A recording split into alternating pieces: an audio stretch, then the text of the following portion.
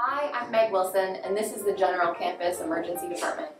You're going to find the General Campus Emergency Department on the second floor of the General Campus. And here we are in the hallway between the ORs and the ICU and the main hospital down that way. So if you've hit the Tim Hortons, you're too far, and if you hit the second cup, you're also too far. Um, you're going to need your swipe badge to get it. Let's go to urgent care first.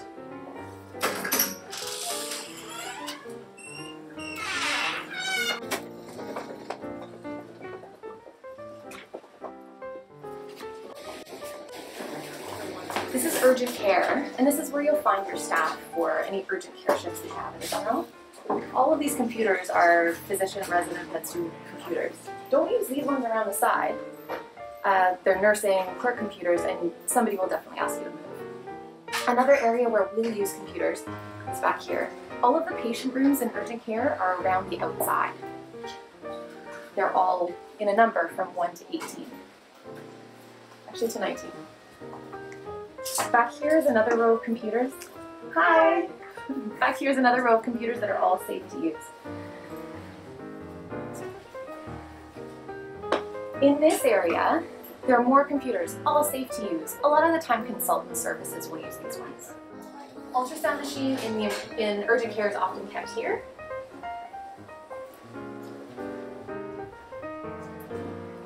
This is our eye room. It has one of our slit lamps, as well as a lot of tools that we use to do eye examinations. This is our ear, nose, and throat room.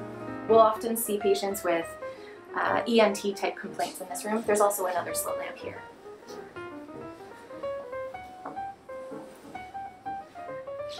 This is one of our minor procedure rooms. This one's actually called room number two, but you'll see it on Epic as minor procedure room two. Come on back, we'll look at the plaster room.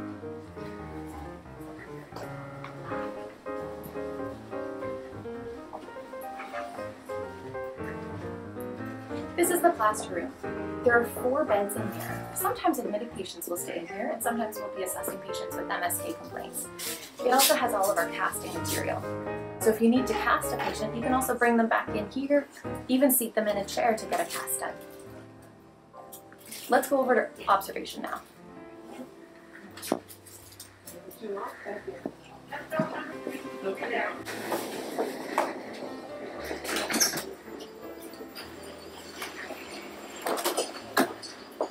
Remember this hallway we already came through.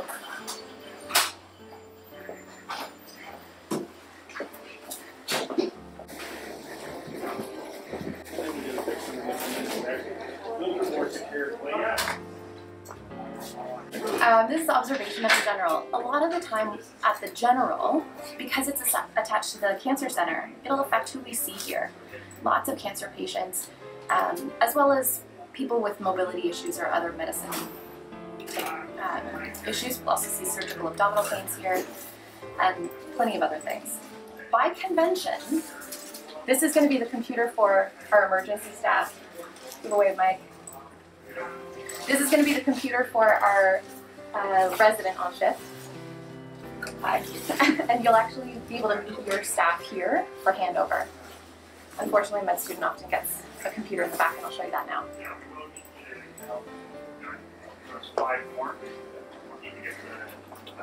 All of these computers are currently being used by hardworking consultants, and a med student can also use any of the computers back here. Our PACS station's there as well.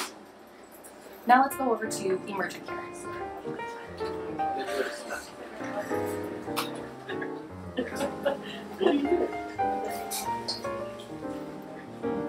You can access emergent care from the hallway that we were just in, or through this back hallway. I'll show you this because there's a staff washroom right here.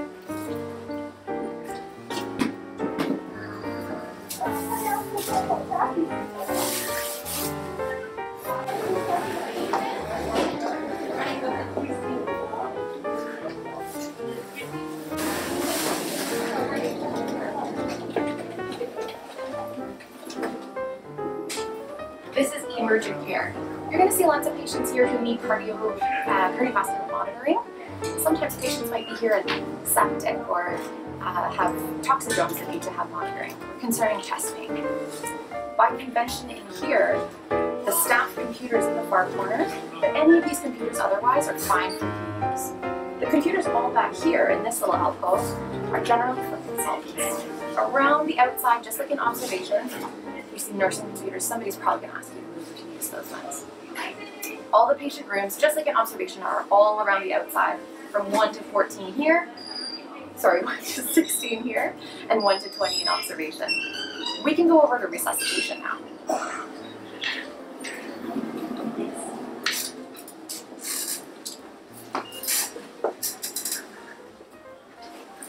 Are you the boss?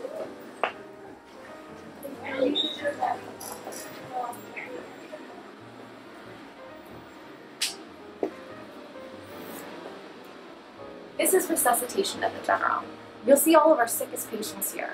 You'll also see any patient who needs procedural sedation come into this room. Um, we have beds one through four, and any of the computers over here are fine for you to use. Now we'll go see offload, which is one of the unconventional spaces that we see observation patients in. This is one way to get there, but there's another way between observation and emergent.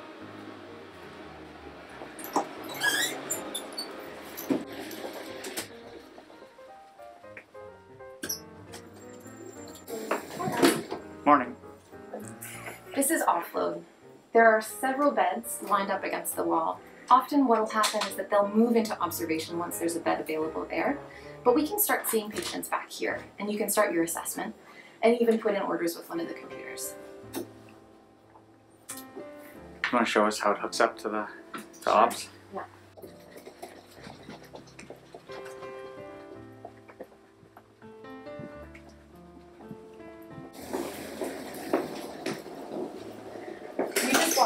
The way around to get to a big square. And back here again is that washroom that I showed you between emergent care and observation. If somebody says go to the conference room, that's actually this room, which is another unconventional space.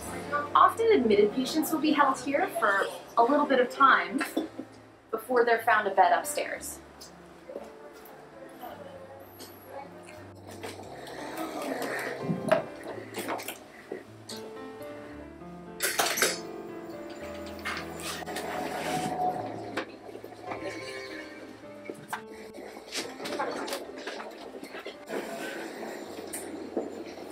The hallway where we started.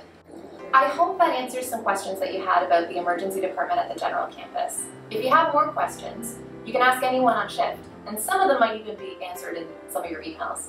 I hope you have a great rotation.